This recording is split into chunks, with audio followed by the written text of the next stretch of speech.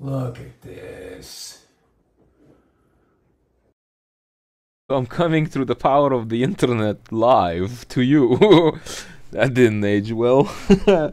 TermusJar here. Get yourself a coffee, tea, or any kind of beverage. We're gonna talk about our internet sensation today. Why am I making this video about him? To be honest, because I got very much interested in his uh, life. I got obsessed a little bit. I watched his documentary by Moeller the four hour gig that oh my god there was so much detail there. If i started naming all of it that would be easy five more hours of this video. But i am not doing that. This is a short video. This is just oversight on the situation and my final opinion. So short story who's bookster? Bookster has created account back in 2007 on youtube just like me by the way and he was making these small meaningless videos about him being making fun of himself as being fat, showing he is fat. Eventually, he would get some uh, popularity and start growing as a content creator and creating more intricacies in his content, as in he would talk more to the people, relate to people, and give out uh, speeches of support, like it's okay if you're sad, it's gonna get better, blah blah blah, kind of stuff. And uh, that's the early life on YouTube. The later life, he actually really got strong in content and uh, popularity in 2010s. His career exploded, and he was considered to be the best YouTuber, like Mr. Rogers of YouTube. He had that nickname, actually. But now, thinking about it, it's insane how this person got that far. So, somewhat later on he would have a divorce with some kind of woman he was with. I didn't bother listening to that point who was it? But he had a divorce. He did some stuff. He started spending money crazy because it got to him that he's rich he's powerful. And as any sociopath usually who has power will abuse the fuck out of it until he get caught. So that's pretty much what happened when he started complaining about his money problems and uh, internet personality called Keemstar has got him ability to fight on a ring. After the ring, he got a little bit more famous, and uh, people started making jokes about him more and more. But eventually, he got in, landed a gig on LolCow Live, which exposed his entire life in the most broad spectrum you can get. So that's a short story of Boogie, like he how he practically has the content that's coming out of him is mostly by making a joke out of him at this point.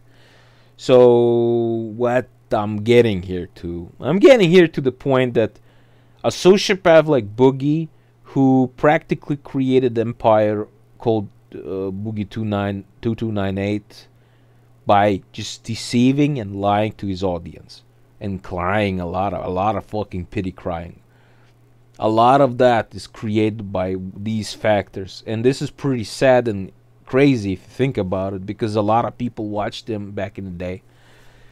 I'm, I'm hoping that he didn't influence uh, most of these people to be similar. Like pity me all the time pity me all the time. I'm bad. I had a hard time.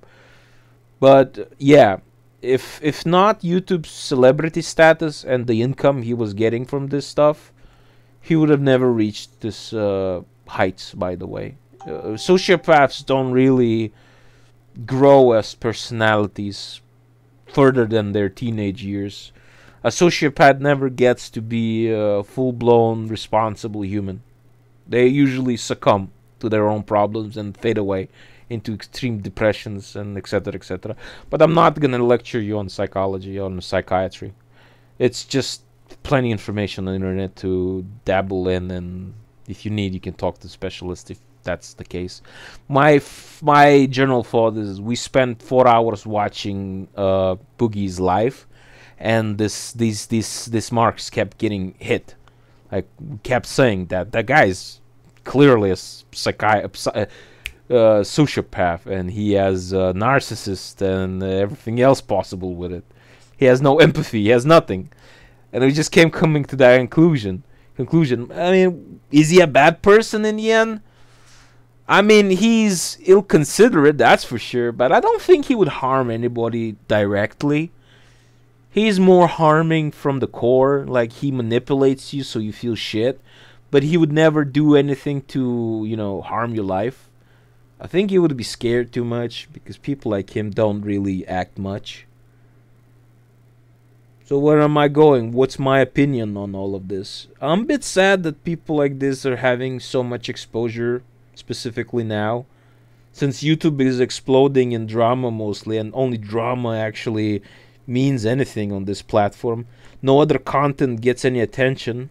It's pretty sad actually. As an as a content creator who actually created a YouTube account the same fucking year as that guy, I just didn't have enough brains to, you know, grow my channel back then. It would have been a really good idea, but I'm trying it now, see how it goes. But uh, going back to the Boogie story and my opinion about it, well, yeah, it's just really sad that a personality like this is actually influencing hundreds of thousands of individuals right now, and it's all boils down to just making fun of him. It's actually sad of the I'm sad about the process of this happening because the people are, who are watching him are not watching to get a positive or example for themselves on and their children for what not to be. They're actually watching this as a joke. So this is practically a mock the cripple kind of thing. Even though I wouldn't say Boogie is a cripple, but it's getting to the point that we're just making a village idiot uh, make a fo- make a fool of himself so we can have a little laugh about it. It's a human notion to do such things, but I personally think like he said he wants to get off the internet and not be part of it. If he ever did that, that would be probably the best thing he could do. But he'll never do that. It's it's just it, he actually said something that would change a lot. If he ever disappeared, it would have been the best thing he, could do because what he's spawning right now in the audience, in the content, just shows that the world has not changed, and uh, him and the platform he's on, he's just a fucking scum. And he's showing others how to be similar, especially the younger ones, the more impressionate ones, which is sad. With his low, low recent crypto scam, just shows that you don't have to work. You just scam your audience, build up an audience, scam them. The uh, cancer thing is another thing. He shows that lying is, as long as you're not caught, it's okay. Which he did for many, many years until he got caught by somebody who's more witty. It's just uh, example for not what to be, in my opinion.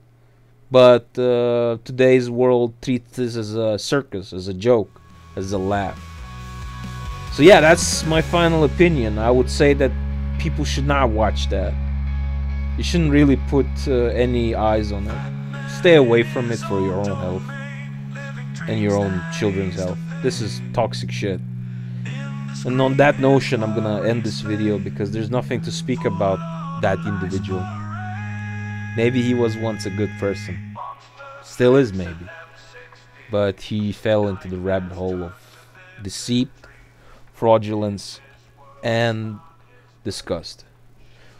This was TermusJar. Have a nice day.